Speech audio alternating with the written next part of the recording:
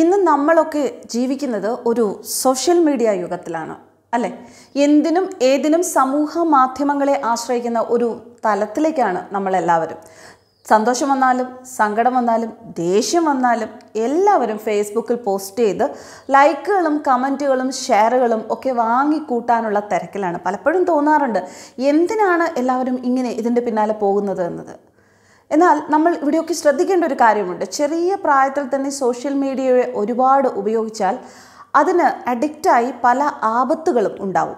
ഒരിക്കലും ഫേസ്ബുക്ക് ഉപയോഗിക്കേണ്ട എന്നല്ല. മറിച്ച് നമ്മളിത് ഉപയോഗിക്കുമ്പോൾ വളരെ വിവേകത്തോടെ ഉപയോഗിക്കാനാണ് നമ്മളൊക്കെ ശ്രദ്ധിക്കേണ്ടത്. എല്ലാവരും ഏത് പ്രായത്തിലുള്ളവരായാലും ഫേസ്ബുക്ക് ഉപയോഗിക്കും മുൻപ് ഫേസ്ബുക്ക് പോലുള്ള എല്ലാ സമൂഹ മാധ്യമങ്ങളിലും നമ്മുടെ ആക്ടിവിറ്റീസ് കൃത്യമായി രേഖപ്പെടുത്തുന്നുണ്ട് എന്ന് മനസ്സിലാക്കുക.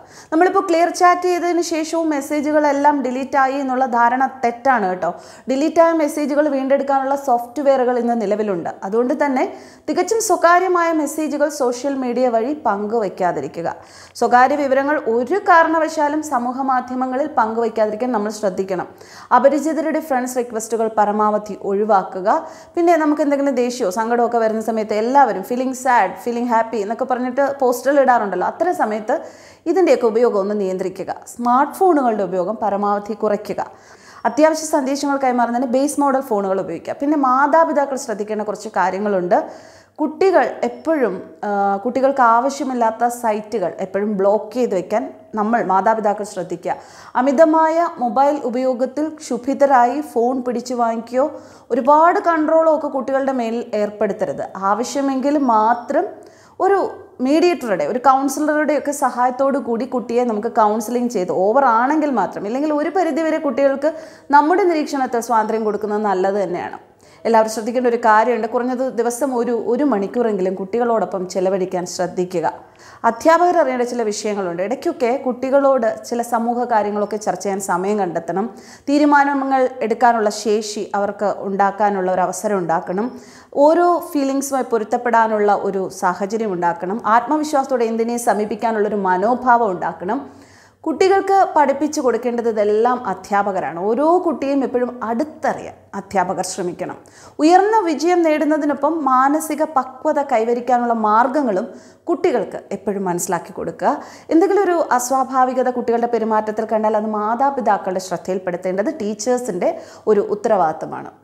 ഇനി ഫേസ്ബുക്ക് നൽകുന്ന സുരക്ഷാ ക്രമീകരണങ്ങളെക്കുറിച്ചുള്ള അറിവും അല്പം ശ്രദ്ധയുണ്ടെങ്കിൽ നമ്മുടെ ഫേസ്ബുക്ക് അക്കൗണ്ട് നമുക്ക് സുരക്ഷിതമായിട്ട് നിലനിർത്താം. അതിനെ ശ്രദ്ധിക്കേണ്ട ചില കാര്യങ്ങൾ കൂടി പറയാം. പൊതുവായി ചില റോഡ് സുരക്ഷാ നിയമങ്ങളെ പോലെ ഇന്റർനെറ്റ് ഉപയോഗത്തിലും ചില സുരക്ഷാ നിയമങ്ങൾ പൊതുവായ ചില മുൻകരുതലുകൾ നമുക്ക് കൂടിയേ തീരൂ. ഇമെയിൽ ഇന്റർനെറ്റ് ബാങ്കിംഗ് തുടങ്ങി ഏതൊരു ഓൺലൈൻ അക്കൗണ്ടിനും ബാധകമായ പൊതുസുരക്ഷാ മുൻകരുതലുകൾ നമ്മൾ എടുക്കണം അത് തന്നെയാണ് ഫേസ്ബുക്ക് സുരക്ഷയുടെ കാര്യത്തിലും ഏറ്റവും പ്രധാനം.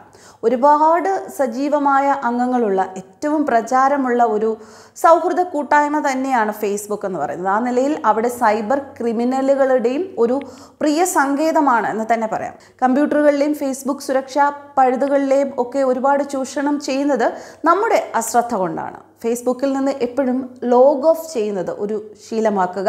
ഉപയോഗിക്കാതിരിക്കുമ്പോൾ ഫേസ്ബുക്കിൽ നിന്ന് ലോഗ് ഓഫ് ചെയ്യണം.